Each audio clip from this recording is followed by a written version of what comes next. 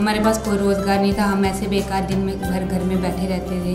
Khadi commission का centre खुला, हमने इसके बारे में सुना तो हमने भी यहाँ पे आके ट्रेनिंग ली। तब से हम यहाँ पे हर दिन का 200 कमा लेते हैं। इसलिए हम मोदी जी का और ये जो खादी कमीशन वालों का धन्यवाद देना चाहते हैं, जिन्होंने हमारे जैसे बेरोज़गार औरतों के बारे में सोचा।